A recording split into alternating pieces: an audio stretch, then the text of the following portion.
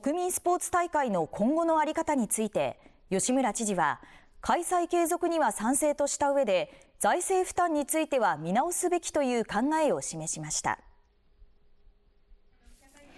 国民スポーツ大会をめぐっては全国知事会の会長を務める宮城県の村井義弘知事が開催自治体の財政負担が大きいとして廃止も一つの考え方と言及するなど各知事からさまざまな意見が出ています。今日の定例会見で吉村知事は各年代のアスリートの競技力やモチベーションの向上オリンピック選手の育成に寄与する大会として毎年度開催されることが望ましいと発言しました。その一方で大会の開催にあたり課題についても言及しました。競技施設の整備や維持管理大会の準備運営の事務など開催地の自治体の負担が大きいところはあのあります、